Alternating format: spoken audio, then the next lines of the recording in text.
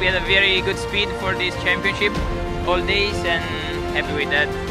So we, we, we could have been very consistent, not not risk anything on the starts and be playing the right shift. This, with this speed was an easy job. Uh,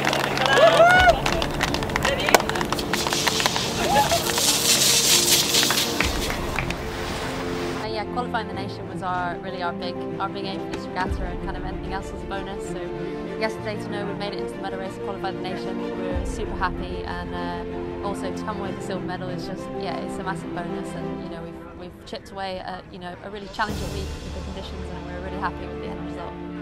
Yeah, I mean, we have our conditions and the Italians have their conditions, and we have more days of theirs than ours this week. But we train together, so hopefully we can keep pushing each other hard and we can get a little quicker in, in their condition. Yeah, there's a lot to work on between now and Paris. You know, I think we've seen where the level's at in certain conditions with the Italian speed, so there's obviously a lot for us to find there.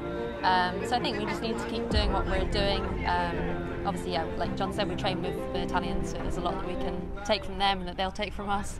Um, but it's kind of just about keeping doing what we're doing, really, keep training hard, and um, you know, I think we believe we can do it. We just need to keep pushing. Yeah, I mean, at the start of this cycle, the boat changed a lot, so there was big speed differences early on. But as everyone's learning the subtleties of it, it's much more coming back to the racing, and everyone gave the same speed. So it's exciting, and you know we enjoy the racing, so it's good for us. And are you happy? Um, yeah, very happy, very happy. And you? Yeah, I was super happy. Yeah, it's a great week. Look here, please. Look here. So actually we prepare really well this week. We prepare since uh, I mean a lot of months, and we have been sailing here in uh, in Holland in the North Sea. so with wave and current for one month, and um, yeah, we were uh, we knew that we were faster and um, in some condition, and uh, we just we, we we did all we had to do. So we just go out sailing and enjoy and do our best.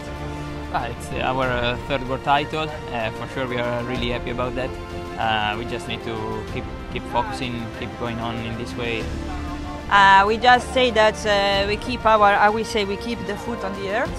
So we do, we just do step by step. There is uh, for sure a, a, lot of work, but I mean, our main goal of this year was the World Championship. Then there will be the European Championship, and then we will have uh, less than one year. There will be the selection inside because we are three teams. So we will do our best always. Ah, for sure.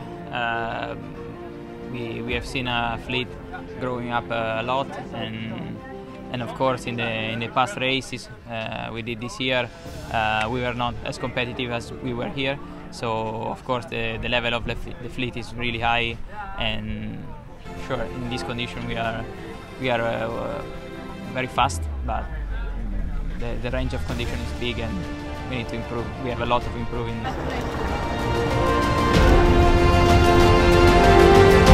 Look here, please.